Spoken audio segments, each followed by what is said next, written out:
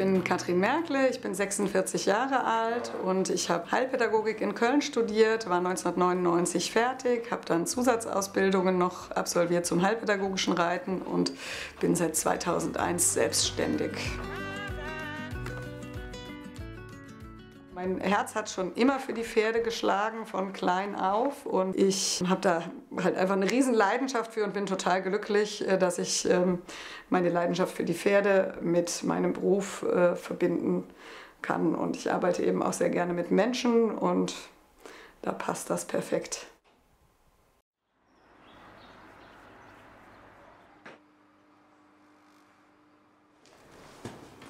In der heilpädagogischen Förderung ist mir noch nie äh, ein Klient vom Pferd gefallen.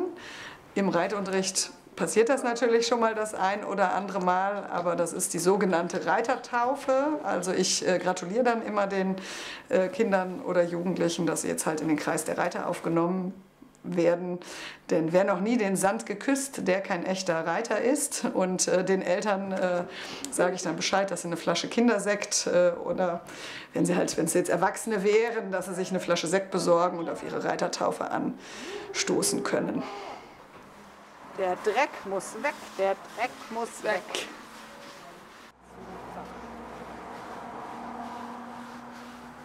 Erfüllend ist an meiner Arbeit, äh, dass ich eben einfach die individuellen Fortschritte bemerken kann, die die Klienten, die zu mir kommen, eben machen, sei es jetzt äh, die äh, Muskelentspannung bzw. Regulierung bei einem schweren Spastiker oder wenn ich ein Kind in der Frühförderung habe, dass das auf einmal viel sicherer laufen kann, dass es anfängt, mehr Worte zu sprechen.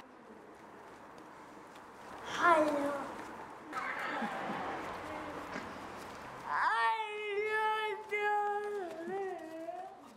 Ich habe in verschiedenen Stellen angefangen mit dem heilpädagogischen Reiten, hatte dann einen Stall gepachtet in Aachen, wo ich mich auch sehr wohl gefühlt habe, aber die Pferde standen eben nicht bei mir am Haus. Wenn ein Pferd krank war, bin ich nachts zum Stall gefahren und ähm, mein Mann war viel wegberuflich, oft fünf Tage die Woche.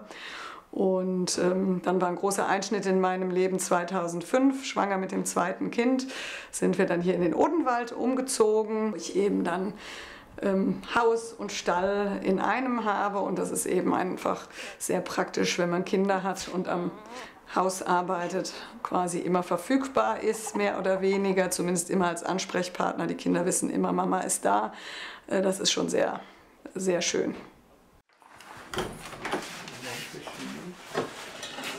Noch ein bisschen. So, das reicht auch jetzt.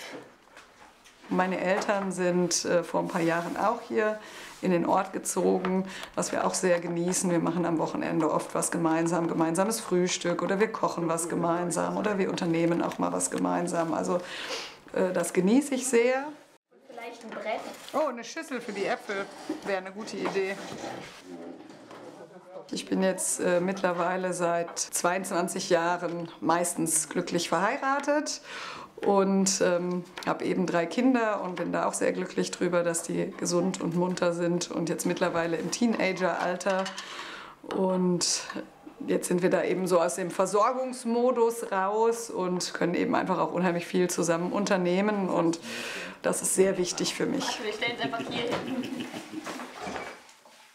Meine Familie ist eine große Stütze für mich und für meine Arbeit mit den Tieren. Bei der Versorgung der Tiere bekomme ich schon viel Unterstützung und ich bin auch sehr glücklich, dass äh, meine Töchter das Hobbypferd bzw. die Leidenschaft für die Pferde mit mir teilen. Das ist sehr schön. Wir als Familie fahren einmal im Jahr in Urlaub. Einfach mal die Füße hochlegen und nicht noch für 10, 12 andere Lebewesen verantwortlich zu sein. Und den Rest des Jahres genieße ich es aber.